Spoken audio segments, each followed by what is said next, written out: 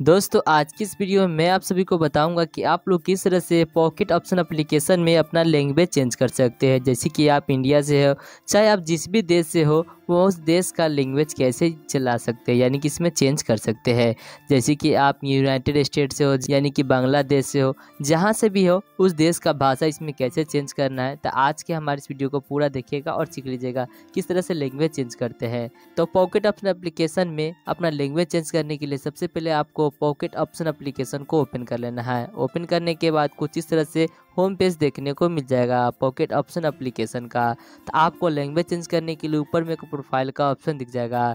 Simply से आपको profile option पर क्लिक करना है और उसके ऊपर क्लिक करने के बाद लैंग्वेज चेंज करने के लिए यहाँ पे आपको एक ऑप्शन देखने को मिल जाएगा, जैसे कि देख सकते हो। तो आपको इसके ऊपर क्लिक कर देना है और इसके ऊपर क्लिक करने के बाद आप जिस भी देश से हो वो अपना देश का यहाँ पे कंट्री का नाम आपको देखने को मिल जाएगा। और किस भाषा में लैंग्वेज में, यानी किस लैंग्वेज में यूज़ करना चाहते हो, उस लैंग्वेज को आपको सिलेक्ट कर लेना है।